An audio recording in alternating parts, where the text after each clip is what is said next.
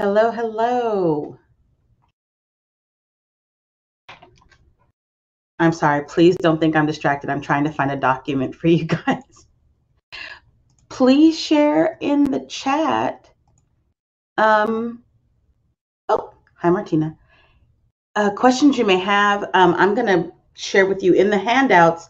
There is already, um, there are already a couple of things for you. The um, South Equity Audits Overview, our six goals of educational equity, and a brochure for the Technical Assistance Center here at IDRA. I want to give you a brief overview of, of the EAC South.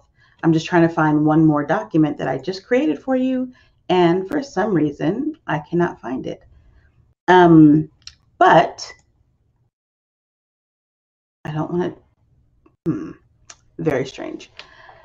Very, very strange. You should have the ability you know what? You should have the ability to chat with me. So please feel free to drop any questions in the chat. Um, and I will just share with you a few pieces of information from the handouts.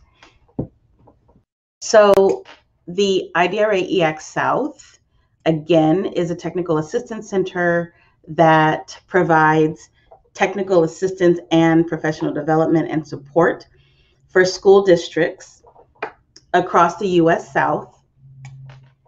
And our goal is to help districts address issues of equity related to race, gender, national uh, national origin, and religion. So national origin traditionally um, has uh, encompassed language and sometimes culture, but when there are um, students who are not receiving adequate services, uh, especially our emergent, emergent bilinguals or placement. That is one area of technical assistance that we are able to provide. Under race, that also includes disproportional school discipline, access to academic programs, um, disparities in hiring practices for school districts. Um, but we use a lot of we use a variety of indicators beyond the four um, race, gender, national origin, and religion. Sometimes it brings in facilities usage. We work with a lot of school districts who are under desegregation orders from the Department of Education through the Department of Justice or the Office for Civil Rights, as well as other uh, legal entities such as um, MALDEF or the Southern Poverty Law Center. So we work with the district and the uh, entity, the jurisdictional entity, to come to some sort of agreement as to what um, what the school district will be responsible for and how we might be able to help. So that's a little bit about what we do as far as technical assistance. When it comes to our equity audits, we work collaboratively with school districts in order to achieve successful outcomes, you know, according to their goals and objectives. Um, and so we are not able to provide all of our services um, that IDRA does. And this is where I just have to distinguish between the two. IDRA is a nonprofit that has been in existence since I think 1973. Um, the first EACs were established in 1975, and IDRA has held an EAC grant since 1975. First, it was national origin. Then, I believe in 1975, race was added. And then, somewhere later on, um, we pulled in national origin and religion from the Department of Education. So, IDRA is an educational nonprofit that seeks to um, eradicate inequities as far as fair funding, um, bilingual student education, English learner or emergent learner, uh, in, emergent bilingual education, but just quality instruction for all students. We really mean all means all. Um, so we provide, like I came in as a math educator. I've been in education for over 26 years, and I was a math trainer. Um, the equity work is something that crosses our policy and family and community engagement practice um, a strategic team our communications, our evaluation, research, and data team, and then I'm on the educational practice team. I'm a senior education associate. So equity is built into everything that we do. We happen to also have a grant from the Department of Education uh, to provide these services around equity issues. And the thing about our technical assistance, there are four regional uh, EACs, and our services are free to the district um, that is that's one of the reasons why I just truly love my work because what we do is free for districts. We are able to partner with districts across the US South, a 12 state region, and it allows us to travel and provide services um, free of charge to the district. So again, if will someone is someone able to show me whether or not you're able to chat with me I believe you might, you should also be able to. Oh, okay. Olivia says, I think we can. Um, that is one of my phenomenal interns um, who is also speaking today. Yes, thank you. Okay, thank you, Amanda. Um, you should also be able to come off of uh, mute or share your camera to ask any questions that you may have. Um, and please let let me know if you are not able to access the handouts. Michelle says hello. Okay. So yeah, you can come off mute also. So yeah. Okay, so you can come off mute. You can show your screen. All the good stuff. Um, so please share with me any questions you have um, related to our equity audits as they come to you. I'm going to tell you a little bit about how we do our equity audits and then how we provide technical assistance. So our equity audits, our data walks, as we like to call them, uh, contextual needs analysis is another way that we refer to them. Um, we like to partner with districts to look at a broad scale of um, I guess, influencing factors as to the quality of instruction and learning that's occurring at the school district level, the dis- the campus level, and the district level. So we do focus group interviews. We do listening sessions, and I should back up. The focus group interviews we um, we conduct are with families and community members. We like to talk to teachers and leaders and students. So depending on the size of the district, we work with districts that are um, three campuses, a um, primary, middle school, and high school, to districts that have over 350 school uh, schools in their system. So it depends on the size of the district. But we like to provide time for focus group interviews because we think that we should have um, the voice of everyone in the community. We try to represent um, a full view of who's in the district and how are they being served. Also, we do listening sessions with leadership. Um, we like to make sure that we are understanding a clear, um, that we have a clear understanding of their vision, of their goals, of their mission, and like their strategic plan, their uh, district improvement plan, if it's in in place. Uh, but what the work is going to entail, we like to have a very clear idea of what um, is ahead of us.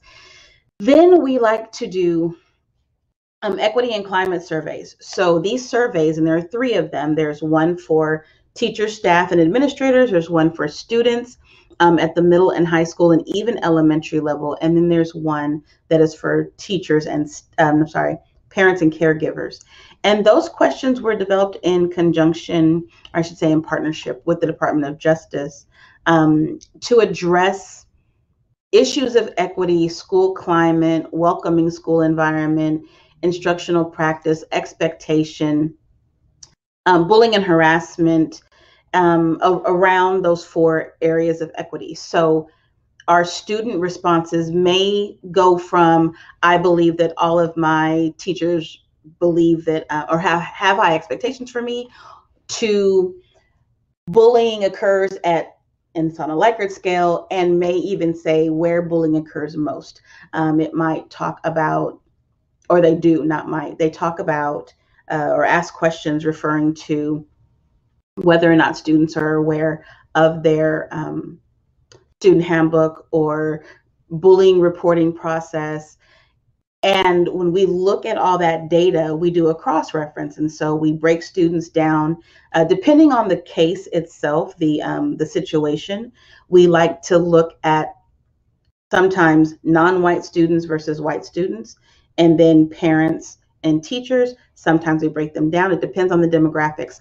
Again, we work with school districts where students of color are a minority minority and exposing their responses may highlight their presence and we don't want to put them in, in any form of discomfort um, other times we may be looking at male female if there's a title ix situation going on. So depending on that we like to look at those cross sectors of data to see where the disparities might lie. So those are some of the ways that we use the data. And then following that data so we've done the focus group interviews we've looked at the climate and culture surveys and equity surveys and we have looked at district data. We look at district um, policy around several factors. Uh, if we're talking about diverse hiring practices. We look at their their um, policies for hiring practices. We look at the data, the historical data around who is applying to the district, who is being interviewed for the district, who is being offered a position, and who is actually accepting those positions. And then we also look at retention. For teachers who have been in the district for some time, we like to see uh, or ask questions about why they have decided to stay with the district. And we're also working to help districts partner with um, local and regional uh, institutions of higher learning, especially for recruiting teachers of color. Uh, we know that right now we have a teacher shortage and it's going to continue to, to, to be consistent. So we're also looking at ways to just improve the teacher workforce or in numbers, I should say, increase the teacher workforce in numbers and partner with schools to find out who is in the teacher pipeline, um, get them interviews with school districts, and try to make those networking connections for school districts uh, to have a, a more robust um, teacher personnel to choose from. Um, I'm trying to think what else. So our technical assistance can also include, in some cases, helping districts design their equity plan we are working with several districts right now who have new like chief equity and diversity officers. And though that they are defining those positions as we go we are working alongside alongside them to navigate that. Um, especially after covid i have personally been doing this work for uh, over 10 years now and covid was still definitely something that we could not have expected and so we are still navigating um, a school system in a new environment. And as we return to learning this year, we don't just do teacher training, but we also do leadership training. So, principled leadership and developing effective leadership through an equity mindset. We are also able to offer restorative practices through um, IDRA's uh, South. So, there are a myriad of ways that we're able to assist districts and work with them to build more equitable school environments. It just depends on the request, and that's all it takes is a request, an email, a letter that says, We know that you do this work, this is what we are interested in. And then we begin a conversation. It's as easy as that. And if you do not have my personal email, it is now in the chat. You can also find us here at IDRA eacsouth.org online. And I am hoping that I will actually get some questions. And again, this this session right now, this time frame during lunch is for you to be able to enter any of the gallery walks and ask questions. So are there any questions for me right now? And please do check out the handouts as well. I'm not seeing any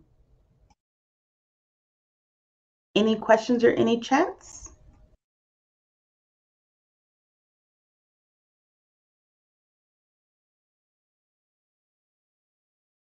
Oh, no. I also want to thank you again. I, I, I'm going to be saying that all day long. Thank you again for joining us today. We're so excited to have you all.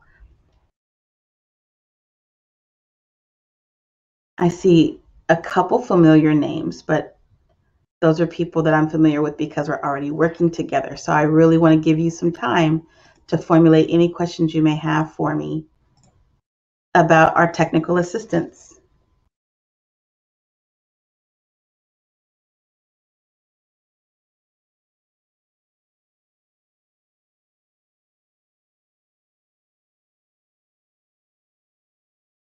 Yes, you can check in and out into in any of the sessions. Right now, there are five sessions happening actually, and I can tell you what those five are. There are five gallery walks. So in addition to the session that you are in right now, you may also visit uh, Mr. Aurelio Montemayor and Terrence Wilson, who are talking about our education cafes. That is our family and community engagement model that they um, lead the work and efforts in, and they will be able to um, share that with you. Mr. Hector Bojorquez is speaking on emergent bilingual support. So we do a lot of work around um, bilingual instruction and English learner instruction. And he is sharing that. Then there's this one. Dr. Bricio Vasquez is talking about data walks and dashboards. That's where it gets more technical, where we actually create dashboards um, for data analysis for school districts. And then principal leadership with Dr. Nilka Aviles is the fifth room. And so let's see. Dr. Johnson, how do you introduce your team's effort when you start? Some schools won't understand why the audit is needed. That is a great question. Um, I believe that's Mr. Corley. I'm sorry, I can't see the whole thing. Um, so when we launch an effort with the district, we ask for time to discuss uh, that very um, issue um, or concern with everyone. And I'm I'm very clear about opening uh, teacher training sessions or anything like that with um, this type of uh, conversation. And so we talk about the need for school districts to reflect on their practices and policies that may be harmful for students. And that just means looking inward at our instructional practice, our co- communication um, strategies, whether or not all students are truly feeling supported and welcomed in that school environment or district environment. Do the parents feel like they're part of the community? Are they valued? Are they um, engaged with the campus and the district? And so we look at data one of the clearest ways for us to address that concern is looking at data. So you have a school district who um, has remarked or, or, is finding that they have an, a 92% uh, graduation rate. And that is commendable. I always have a concern though, where are the other 8%? And who are those students? And so we ask questions around equity, such as um, are are our practices, are our current practices um, resulting in in uh, success for all students? And if we can't say all, who is it not serving? Who are we not serving well? And so we look at that dynamic. Um, and this is this is across again all of these um, indicators. We look at, in addition to our four main race, gender, national origin, and religion.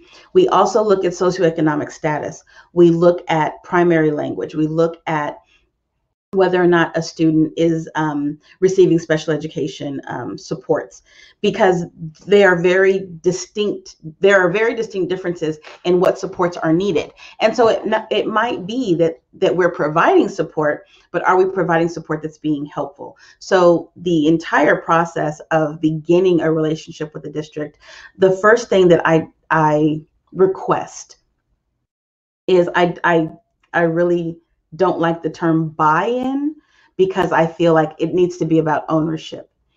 And so I challenge and charge every teacher, staff member, and I'm talking about paraprofessional to nutrition worker to bus driver, um, to the coaches, to the team. Doesn't matter what subject you teach. If you're here, you're here on purpose. Let's work with purpose. And we talk about how students need to be supported and how we can do it better. And until we have true 100% graduation rate, where 100 students are college ready if they choose to go, where we talk about equitable access and success and opportunity, we talk about um, diversity, equity, and inclusion, and how they all three have to work collaboratively for student success. But until we can say we are at 100% that all students feel or are receiving their their their idea of success in schools, then we all have work to do. And therefore, it's it's about ownership, um, collective ownership of my. So if I'm a teacher of my classroom, of our campus, of our district, and then the broader community. So we definitely talk a lot about the need to just review.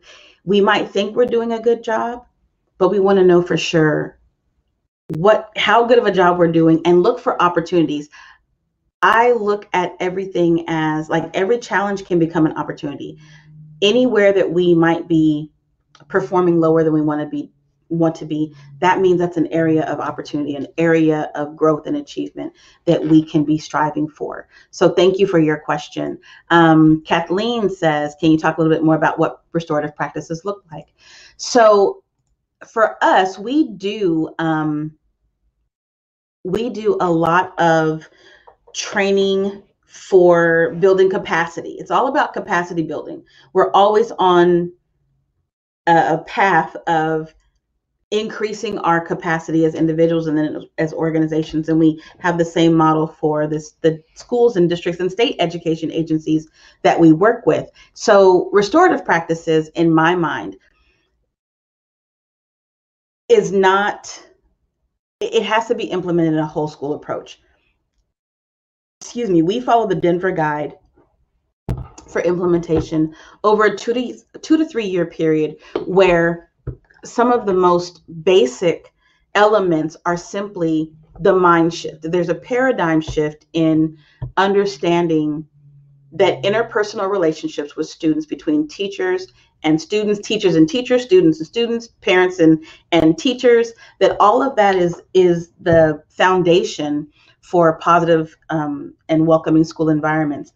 And understanding, have a common understanding that my actions, my behaviors, my speech, my success are all connected to other people at my campus. So, restorative practices is a mindset of operating with empathy in mind, treating each other with respect, and understanding that our climate, our school, is impacted by each and every one of us, that I am valued and important and that I impact the school environment, the classroom environment, whether I'm in the hallway, the classroom, the bus, the playground, that all of us are connected through community. So, in order for that to really manifest, we have to operate as a community and, and have uh, shared values. We have to discuss what happens when I harm the environment or when I might be harmed. So, our training around that we have multiple models, but the primary model is a train the trainer, but not in the traditional sense. We train, we have intensive training for um, a cohort of, of restorative leads. We then provide coaching and mentoring over the course of a year for implementation. And then the second year is where we heighten uh, that the application. Because in the beginning, we're talking about building community.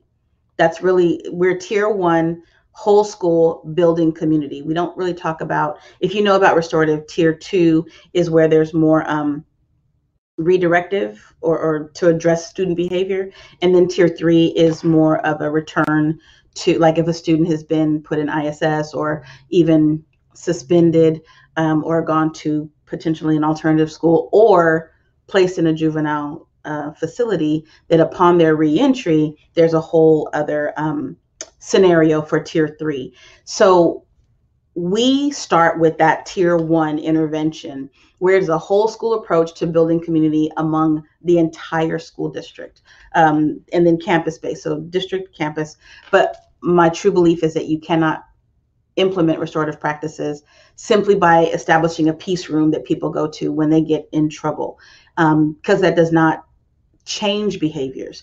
There's no, um, there's a consequence, but there's no change. And so that's what restorative practices looks like in that students become more self-managing in the community, in the school environment, in the classroom environment, even at home, um, through these restorative practices. And a lot of it is really a, the the change. A lot of the uh, how do I say it?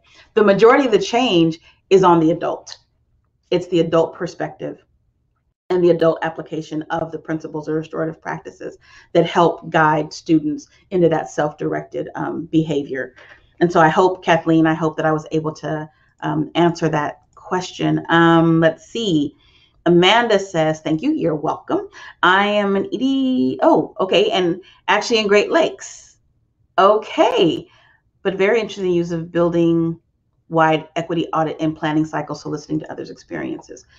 It really is important. Um, yes, thank you for as equity audits that there's a, it's a, it can be a very large or a very um, isolated event in terms of like we're working with one school district their first phase of their equity audit is just policy the school board in fact there's a team of about 10 members from the, the school district executive level so the school district level or leadership it includes two of the school boards and right now they're looking at three particular areas of um, district policy just to start there because they have established practice has to be supported by policy. So the best classroom strategies and, and um, uh, practices by teachers, if they're not supported by the district policy or if they're um,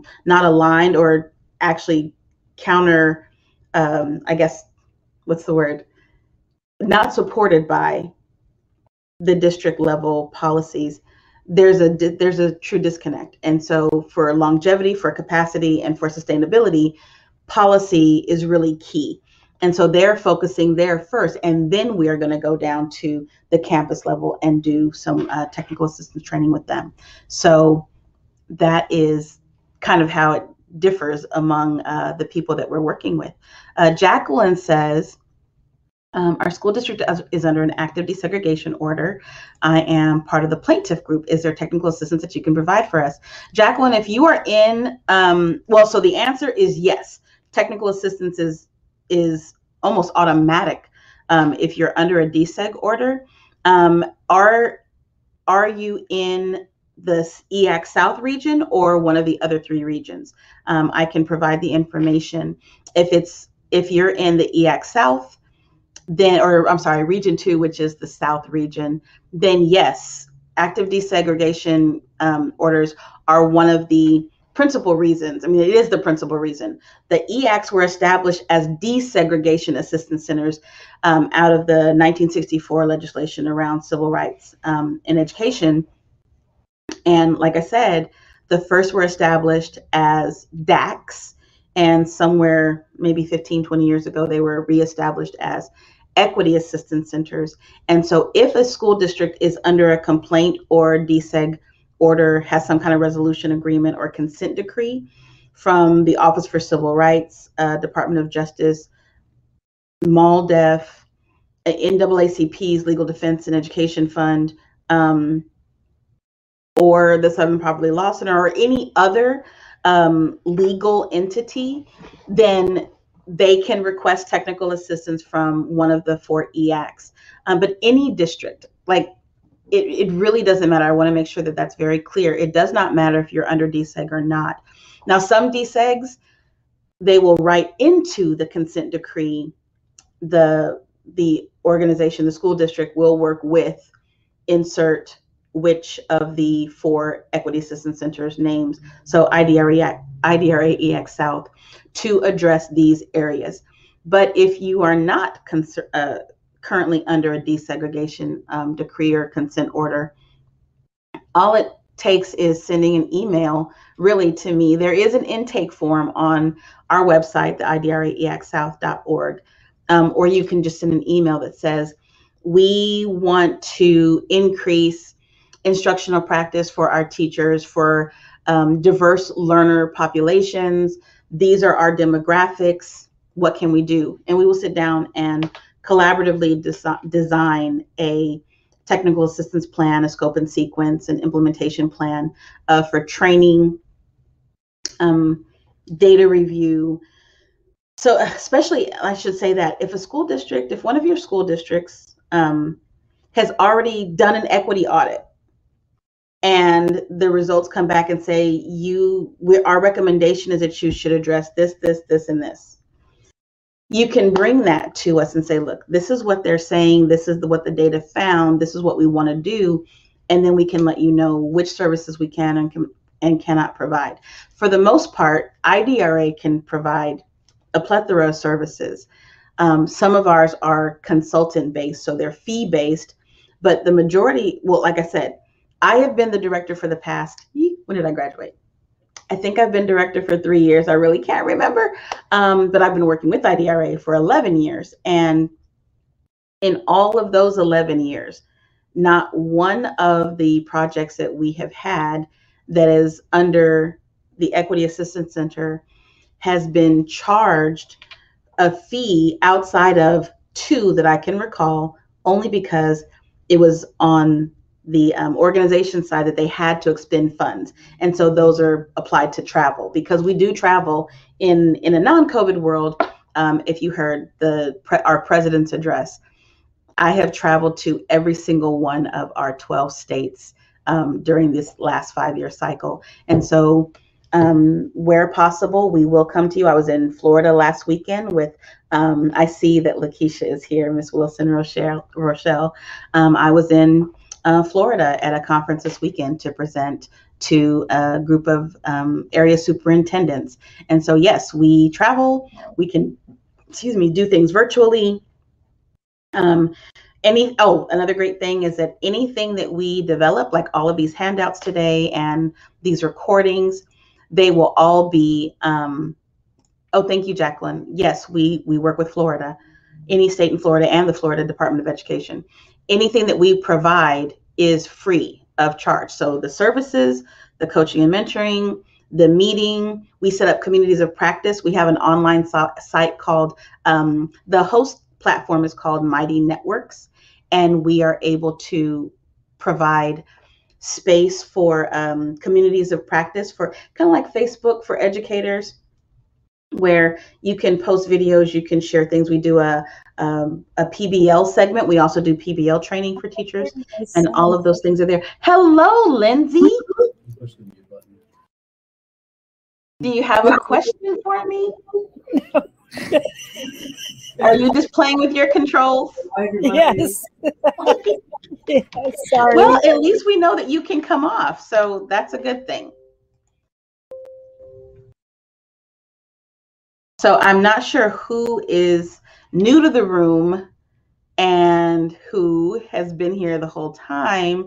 So I need to know if there are questions that you have. And then at the, in about five minutes, I, I'll kind of start all over.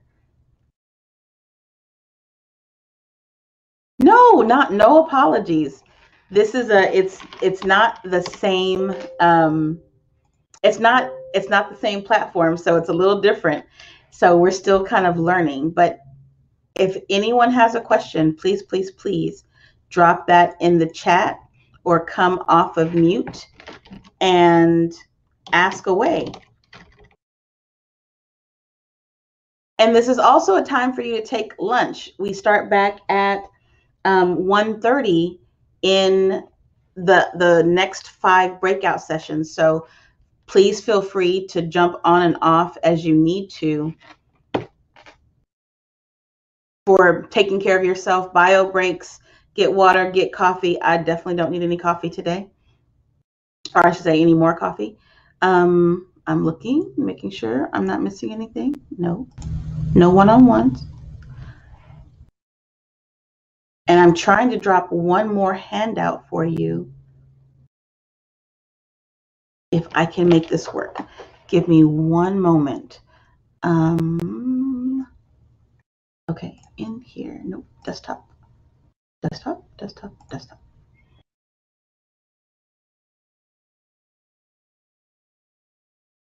Uh-oh. Okay, let's see. Okay, I think I got the hang of it. I'm going to drop one more file for you. There it is. It says overview um, for EAC South. That also gives you a little bit more information around um, the technical assistance we can provide. And the first document is more about the equity audits and our research behind equity audits. You'll also find in the chat the six goals of educational equity, which were written by Dr. Bradley Scott, my predecessor and one of my dear mentors, um, about the goals of or how to formulate an idea around what e educational equity looks like um, across six um, major pillars. And then I also provided the brochure for the EAC South that you can um, open and download or save.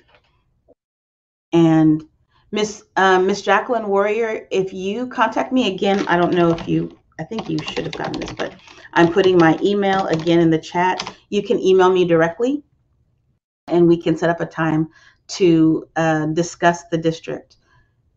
And I think that, oh, same for, um, sorry, Oh, and Amanda. Okay, so I have caught everything, I think. Please let me know if I need to start over or if you have any questions in the chat. I will be in this room for the next um, 50 minutes. And I just want to make sure that I have ans answered all questions. Let's see. What is that? Oh, no, chat. Thank you, Mr. Dejan. Oh. It's it has been I'm I'm already oh yes, can I please start over? Thank you. I will start over. I have no idea what I actually said, but I'll just pretend like I'm beginning from the beginning and therefore I'll say everything. So okay, give me two seconds to take a breath and get a drink of water. Oh, hello, Tanya. Okay. Please stay hydrated. Uh, play, stay hydrated. Oh, now that's a good question. Let's start there. Thank you, Miss Jacqueline. Um, what type of jobs are available in this area of equity audits? Um, Kristen, I wish that I had an answer for that.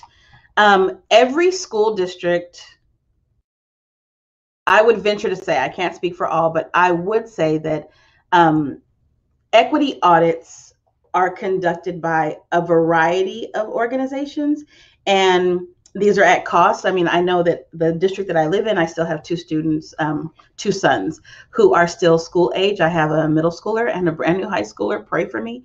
Um, that our school district can, is um, just put out a request for proposals to conduct an equity audit of the school.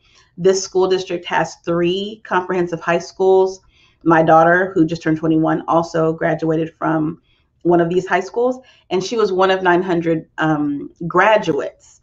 They have the year that she graduated, there were 5,000 students at her school. So again, it ranges. You have very small districts, very large districts, um, and everything in between. So organizations that conduct um, equity audits as part of their uh, services provided that our businesses will charge for the service and they provide a very robust um, in-depth look at indicators and it depends on the district uh, of what they're looking for but those recommendations are provided and then uh, they're they're um, left to their own devices on how they um, implement addressing them so for IDRA this is part of our larger um, educator services that we provide. So I'm not sure how you would get into that job, but as an equity assistance center, is something that we provide. All four equity assistance centers, by the way. Um, one region one is um, the Mid Atlantic Equity Consortium. They are located in Bethesda, Maryland, and they have Region One. We are Region Two, EAC South. Um, at the Intercultural Development Research Association. Region three is the Great Lakes Equity Center, which is at Indiana State University. And then, and they serve Region three. And then Region four is the WEAC, the Western Education Equity Assistance Center, and they are housed at um, MS Denver, uh, Denver. I cannot. It's MS Denver, I think. MSD. Uh, Dr. Jan Evanstead is the director there. So all of us have a protocol for our equity audits, and as I said um, earlier, I'll repeating now that we perform equity audits as a contextual analysis to identify concerns around, again, for the equity assistance centers, race, gender, national origin, and religion.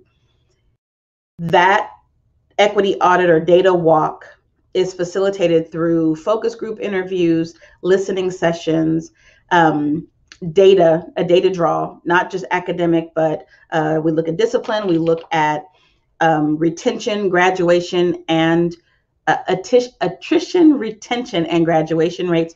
We look at uh, GT placement. We look at how many students are taking advanced academic classes, specifically Algebra 2 as an indicator for college readiness. Um, so we look at how many kids are going to college. We look at um, socioeconomic status. We look at uh, special education um, supports. Um, you name it, we probably look at it. We also look at facilities, again, depending on the district.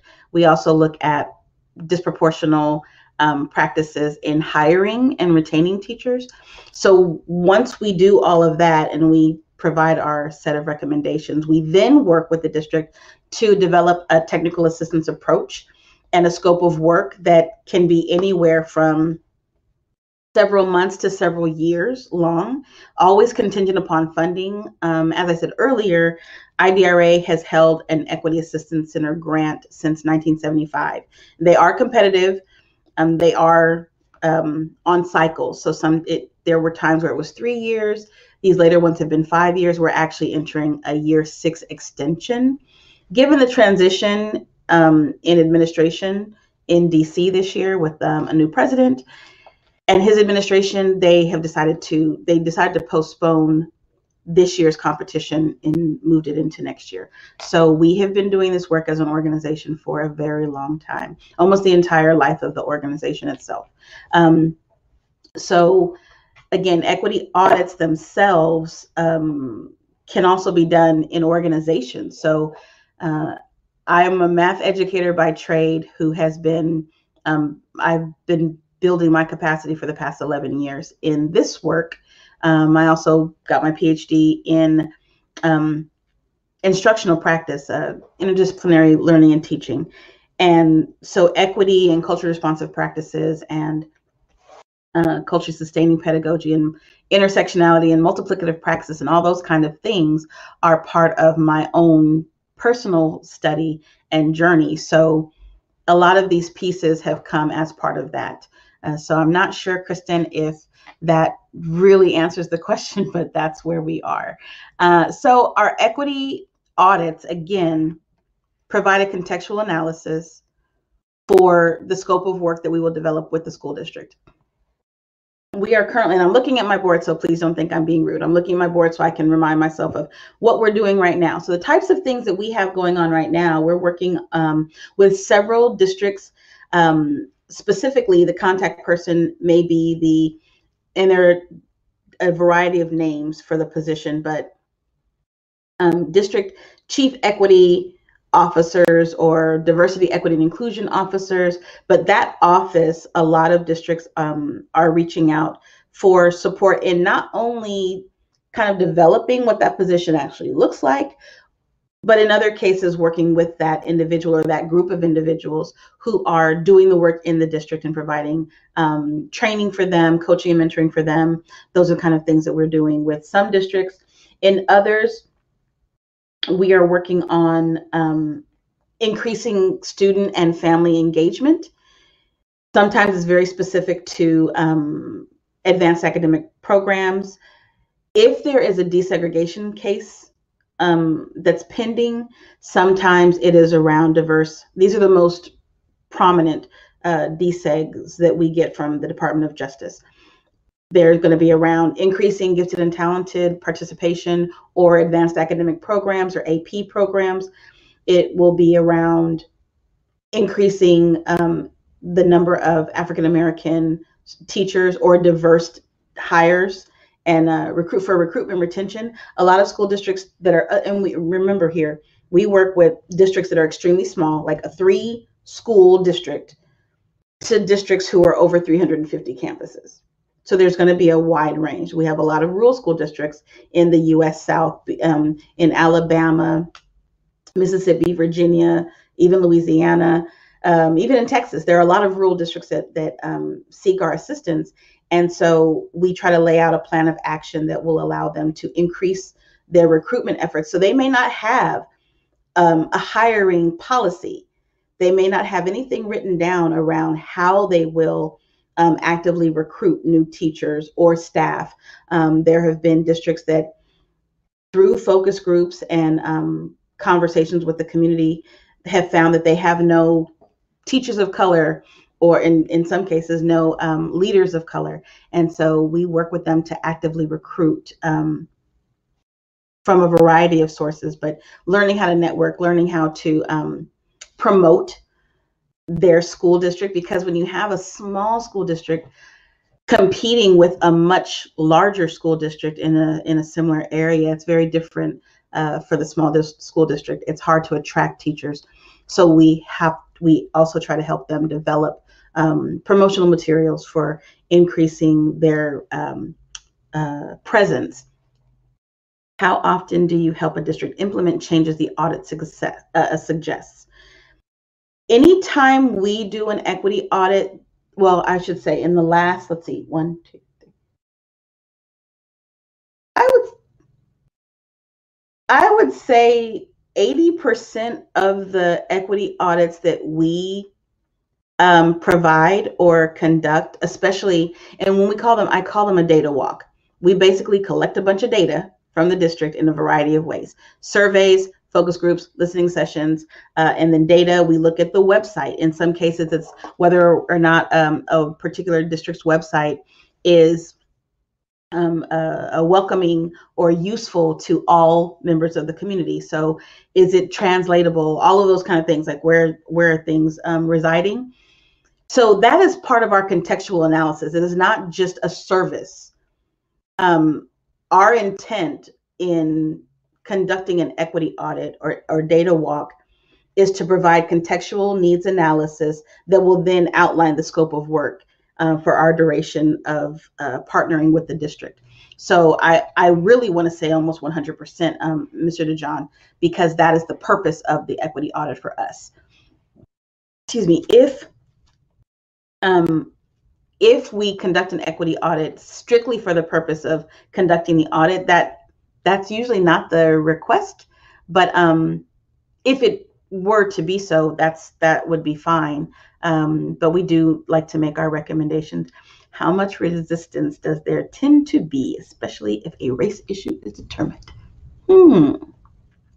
I'm going to pause before I respond. So that resistance, so hmm. I'm trying to gauge resistance. Resistance there's there's always going to be some resistance. I think in any district that we could possibly be talking about across uh, the country, there's going to be some resistance for the purpose, um, for the outcomes, for the strategic planning that goes into it. Not everyone sees the big picture and sees that there are usually, unfortunately, usually students who are not being served at the highest capacity. They are not receiving quality instruction. Um, or supports. So there is resistance. And when race is concerned, we are just very clear in the data that is influencing the the reporting and when we set them when we i mean when we set forth the the information we try to we provide uh, dashboards or presentations that provide breakdowns demographically um, to kind of demonstrate the need. And so, even in the training sessions, there can be some pushback uh, or mis misunderstandings or limited understandings of the purpose. But the majority of the work that we do after the contextual analysis, when we begin the training and we start talking about promoting equity in schools, we do a reflective, we do several reflective exercises that help us center students in the work. So it's not Paula, forget the Dr. Johnson. It's not Paula's opinion that students are not necessarily receiving um, equitable treatment, but the data shows us that not all students are being supported at the same um, rate and the need to address that. If we, you know, we, we start with like the mission and the vision of the school district. When it says all students for all of the um, the Dijon School District, we ask, are all of the students in the district actually receiving this type of, or this level of um, care and instruction? And if not, then that's something that we we need to be mindful of to work towards.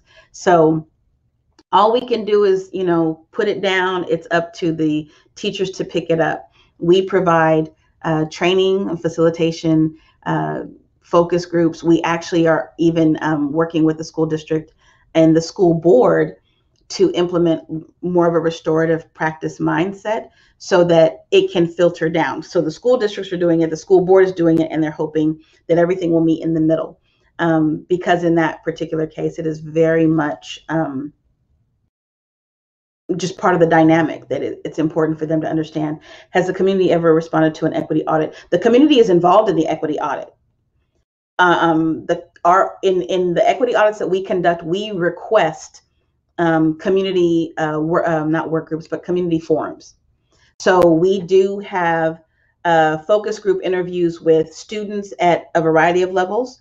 We ask for um, focus groups from the teachers, and depending on the number of campuses, we ask for representation. We ask for representation across um, cultural and racial backgrounds and to represent all campuses involved. Um, we definitely ask for leadership input. We want to know what they're thinking because we, we know that that's divergent thinking, right? So I have evidence that students might believe one thing, the teachers are entirely in a in an opposing viewpoint, thinking that like the students might say, uh, I'll give you a perfect example. We had a group where the student the teacher said, um, we think that you know discipline and, and, a disciplining student behavior is very well taken care of on our campus. The students at that campus said, we don't think the teachers discipline enough. We don't think that they address behavior enough. I should say it that way. Um, so we also want to see how parents, what their take on that is. Do they, what do they hear from their students. We can't ask them to put themselves in their students' shoes, but we can ask for their input on what they hear um, uh, as secondhand from the, the students. So we definitely, um, in our district, I mean, in the districts that we work with, we seek out input, qualitative data from surveys and focus groups and listening sessions from every form of stakeholder or every group of stakeholders. So students, parents, teachers, administrators, staff, and then the community and parents. So, uh, something that I believe in very strongly is that our schools need to be community schools again. Whether or not I have a student in a school system, if I reside in that school system, that, stu- that school should, uh, this is my personal, again, this is Paula right now, that that school should be important to me because there should be learning, uh, you know, they're impacting our future as a as a community. So I am a homeowner. I live in this neighborhood. I can see my son's school and before he was there that school was important to me. So that's my I know that's probably my role as as an educator, but this is a vocation. It's a calling. It's not just my job. So um we really we really seek to center the students in this conversation. Um, but again, like as we're returning from learning, or returning to learning, uh, so much focus is given to the students, but I I venture and challenge to expand that thinking. How are our teachers doing? So mental health is important for teachers too. Caring for them and, and being uh, for a teacher to be in an inclusive and welcoming environment is just as important as those teachers providing the same type of environment for students and parents. Every parent should be able to walk on campus and feel welcome in that in that community and to feel valued and listened to So um, I do see that uh, you saw a recent school board recommend an equity audit and the community came to the school later and lost their minds about the idea of even doing it since there is not a race problem in the district. So I'm just going to say to that, and thank you, Charla, the data never lies. That is that would be my response.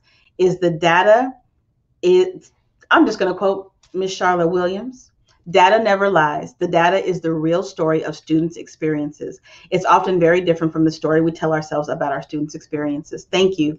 And I, I believe that's Dr. Williams. I wish we were less averse to what the data tells us. Um, one of the first things, and this goes back to Mr. DeJohn, when you said, um, when you asked kind of like how how how the response or what kind of response we get one of the first things that i share with teachers or leaders or parents or students in um, these small group settings is we have to remember several things one is as teachers in the room many times we are in in um, a space with people who did not have the same kind of educational experience that we did as students or as educators. That's one thing to remember. If we want school to be a positive school, uh, a positive experience for students, teachers, and the community and parents, we have to work to provide that, and it's all of our job. It's all of our job to make school the place to be as an instructor, as a teacher, it's important for me to teach with passion that I can pass on to my students.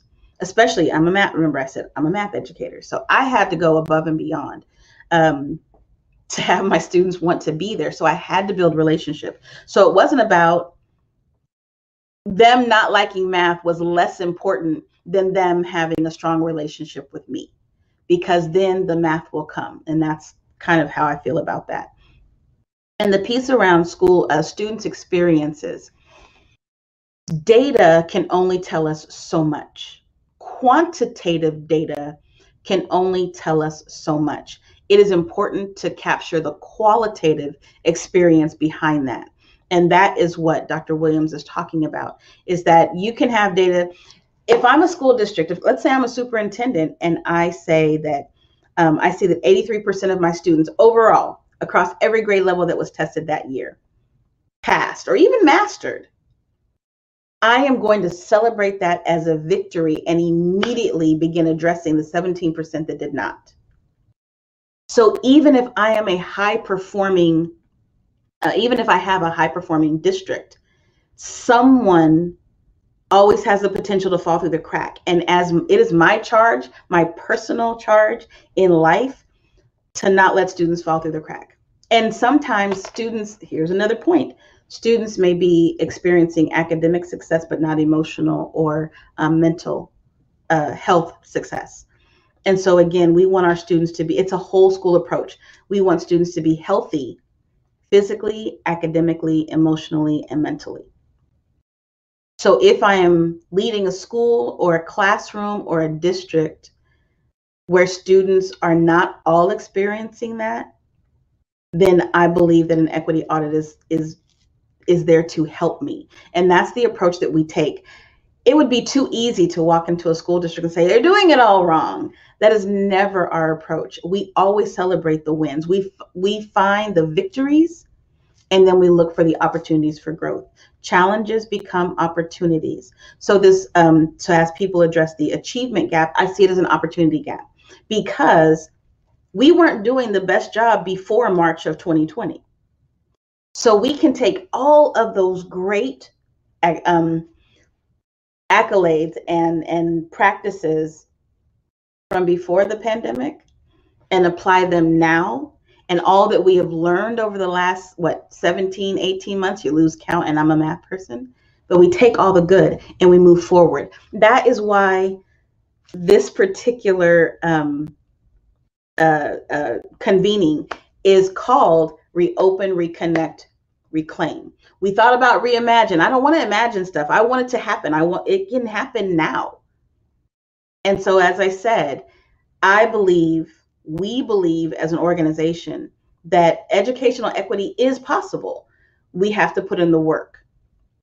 And that means laying like we have to shelve trying to lay blame or even trying to accept blame or, or take accountability for the history that has occurred in education we do have to be aware we have to know what equity really means that equity is not equality and that when we talk about equity and try to lead from that focus that we're really looking to provide or to find ways to improve the education that we provide to students. When we do that, it's not about it's not about saying, "Oh, I didn't do this or I didn't know." Okay, so now we know. We know what the situation is. That qualitative and quantitative data, quantitative data is going to inform all of our decision making. And we're going to think about when we sit down to plan to create a master schedule. When we look at who's in those classes, we're going to sit back and think, hmm, how can I improve the diversity of this class? Let's look at um, AP um, English or, or AP Calculus. What is my ratio of girls to boys in those sections? How many sections am I offering? Am I offering sections? Who's in the room? How can I bring diversity to that space?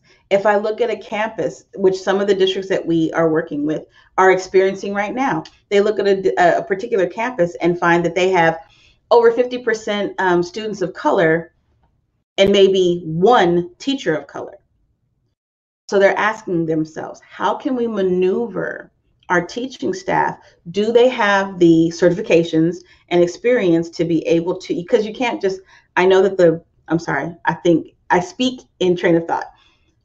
A lot of non educators think that you can just pluck a teacher from one position and put them into another. It just doesn't work like that, especially at the secondary level. You would not want me to go in and teach a social studies class. So it's important for us to remember um, those dynamics as well. And the fact that we are, are experiencing a teacher shortage just makes this even more difficult. So we want to know are we building capacity at the at each campus uh, across the board? Are we engaging the community to find out what their what their true needs are? What are they saying? If you if you really open yourselves, it's not to if we could reframe, I love reframing. If we could reframe qualitative information, qualitative data from communities, from teachers, from students as being inform, you know, measures of informing. That's all it is. When I go to the doctor, before they do anything, they ask me, Are you experiencing any pain today? Or are you experiencing any symptoms today that you would like me to know about? They're going to do their regular check, but they're asking me, Is there anything of concern that you have that you want to bring to my attention? and I'll tell them. I know what they're gonna. I know they're gonna do it like a for me a well woman check. But if I've been having a little pain in my hip or experiencing a little palpitation that's not normal, they can't know that unless I say something. So as educators, it's the same thing. We are the physicians in the room. We have a curriculum, we have a scope and sequence, we have a planning guide of instruction. We know what we're supposed to do.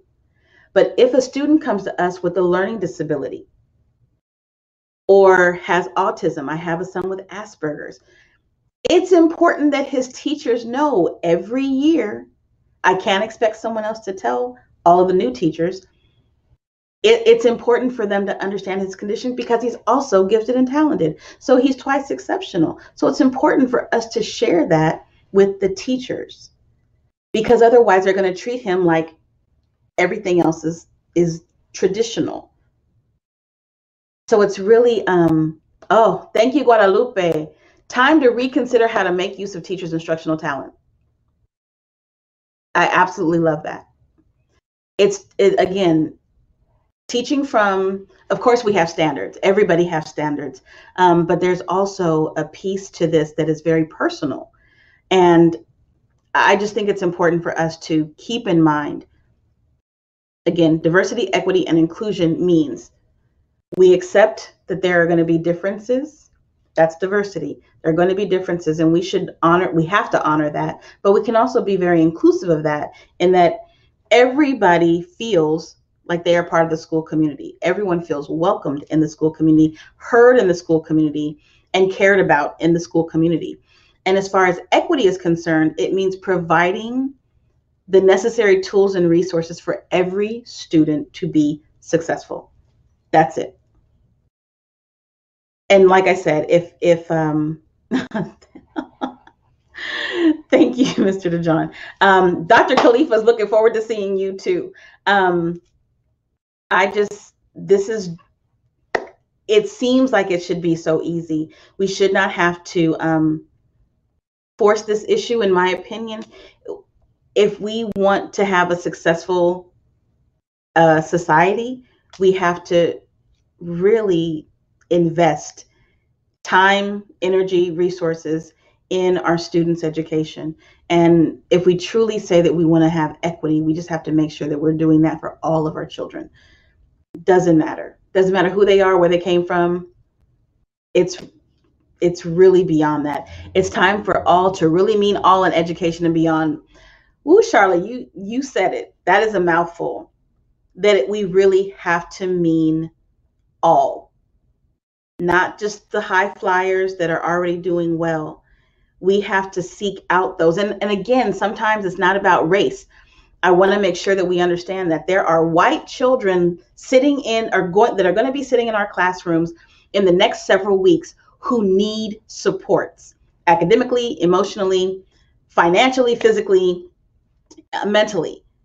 There are going to be students of every shade, every every community that are going to need our assistance. And so um, it's just our charge. It is our charge if we are in this in this uh, line of work to make sure that we support all of them. And so that's all I can that's all I can say about that.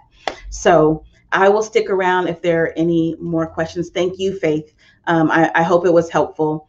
Please visit our website. Um, there are all sorts of resources. There are you can search. There's a search bar in every every page of the IDRA um, website, there is a search bar. If you have a particular, if you want to type in, um, uh, I don't even know, uh, elementary education, type that. Anything related to elementary education will come up. Um, if you want to put uh, school climate, type that. It'll give you everything that we have. It'll give you podcasts, newsletter articles, um, infographics, reports, anything that we have on it will be there, or even on your Google search. I love Google. Google is our friend. If you put in a Google search bar IDRA and then anything that you're looking for, it'll give you uh, it'll it'll give you all that information. We're very good about tagging. Thank you to Christie Goodman and the communications team. But I will stick around for another uh, 10 minutes or so if there are any other uh, questions or if anyone needs me to repeat anything or send you anywhere. Thank you, Charla. Thank, thank you so much. I'm just, all my adrenaline is leaving now because I just can't believe it. you are all here. I can believe it, and I'm I'm just thankful for it. I should say that I can believe it because this is good work. Um, thank you for for allowing it to um, manifest today and tomorrow. And there's still one more breakout session, and then at 2:30 we will hear from Dr. Muhammad Khalifa. I cannot wait. And then tomorrow we have a whole day too. So Please let me know if you have any questions. I'm going to be on mute, but I'm here.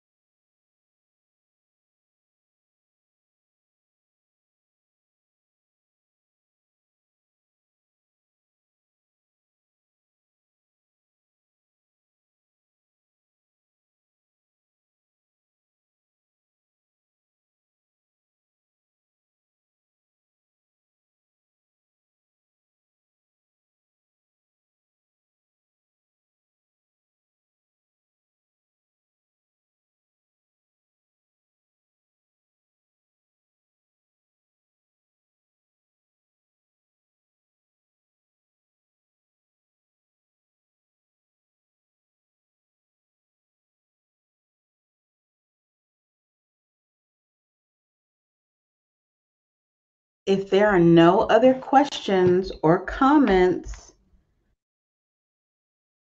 then I can give you 10 minutes of your day back.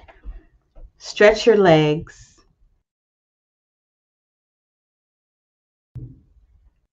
You answered a question on how to engage teacher network.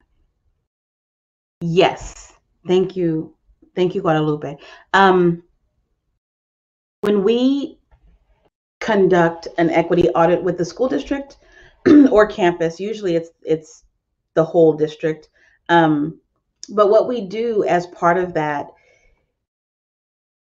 we do site visits. So in a perfect world, when we were able to travel, uh, we would go to each campus in the district, and I mean, and I mean each.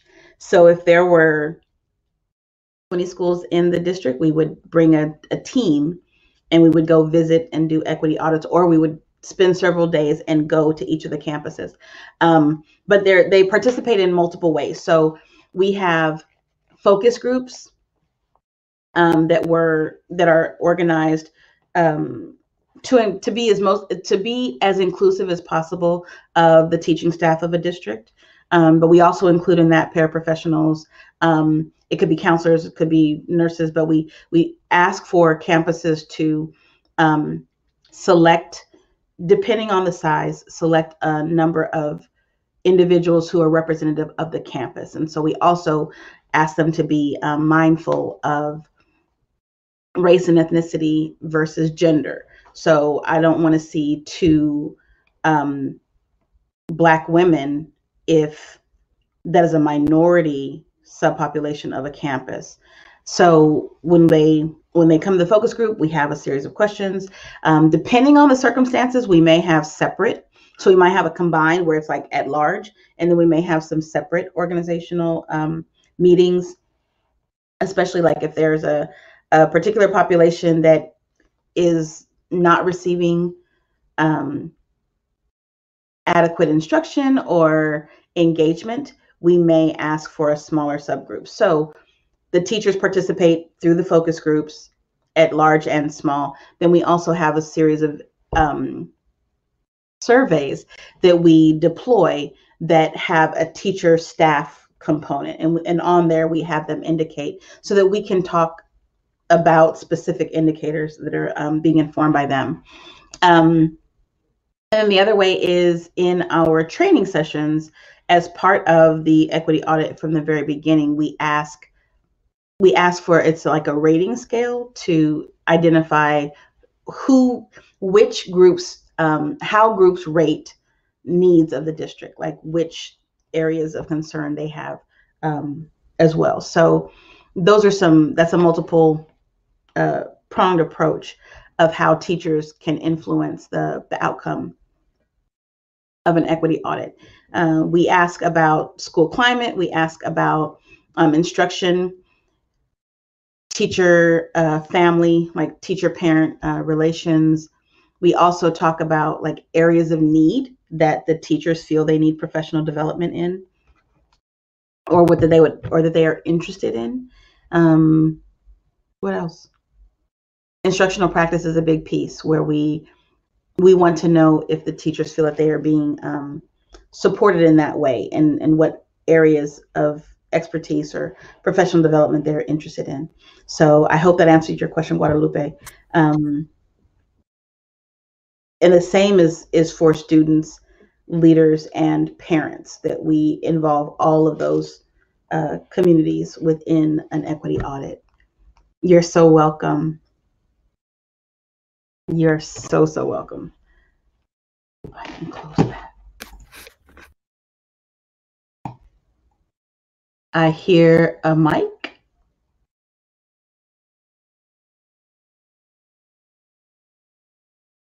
Do you have a question?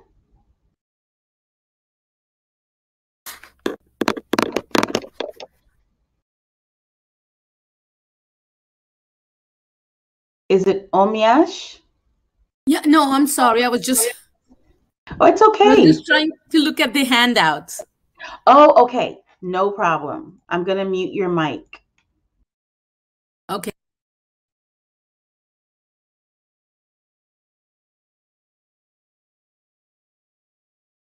And we have just under three minutes for any burning questions or needs, any assistance that you need in navigating.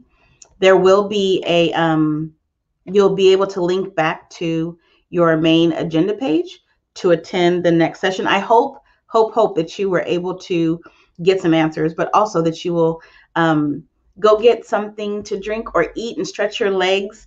Uh, it's very different being online, and I'm saying that while I'm still sitting at my desk, right? Um, but I hope that you're able to at least take a short stretch break before moving into the 1:30 breakout sessions. And I will share with you again, if you're not familiar, our afternoon equity power breakout sessions, broadening pathways to STEM with Dr. Stephanie Garcia and Mr. Hector Bojorquez. Then we will have Dr. Daniel King speaking on college readiness for all in the pandemic area. I'm not biased because I know everyone who's on program today, but Dr. Daniel King is a phenomenal uh, former superintendent of our San Juan Alamo um, ISD here in Texas. Phenomenal speaker. Um, Miss Paige Huggins, uh, Duggins Clay is talking about establishing and maintaining equitable and restorative communities. Uh, she's an attorney that we work with. Um, she's a friend of the organization and just phenomenal young lady. Uh, Dr. Altheria Caldera is going to be discussing in Strand 4, developing racial literacy for teaching ethnic studies. You guys, she is a powerhouse. All of these things are going to be available by recording, but when I say Dr. Caldera is amazing. And then you could also hear from, in Strand 5, uh, two of our fellows and one of our interns here at IDRA uh, speaking on reimagining student engagement, revamping school policy and practice, and fostering student advocacy. All three of these young leaders are advocates um, in their own right, too. Like I said, our policy fellows with us this year and have testified um, for the Texas legislature. It is ridiculous how much uh, they are going to bring into the world. Uh, they're all very young. I'm, I'm getting up there, but these are the young folks who we know are following us. And then um, Malivia Mojica is one of our interns who is a student advocate. Uh, now she's in college, but she was an advocate even in high school. And so uh, they understand how, again, policy has to support practice. And so I just, I welcome you to visit any of those. I think they will all be phenomenal. And then for sure, for sure, for sure, please rejoin us in the main plenary session at the end of the day at 2.30 to hear from Dr. Muhammad Khalifa. And you're so welcome. Uh, Guadalupe, if I can call you Guadalupe, um, our my word of the decade right now is just pivot. Everything has been pivot. I'm a mother. I was a student. I'm going to be a teacher again. I have a full time job. You have to be flexible. Like I said, challenges, you just have to reframe them into opportunities. And so, since we had a couple minutes, I took the opportunity to share with you again where we can go right after this session. So, it is 120. We're going to be closing this room. You have a built-in 10 minute break. 10 minute break. I thought about you. I wanted to make sure you got up and move those muscles. Um, so please take that 10 minute break, join the 1:30 session, and we'll see you back at 2:30. Continue to enjoy.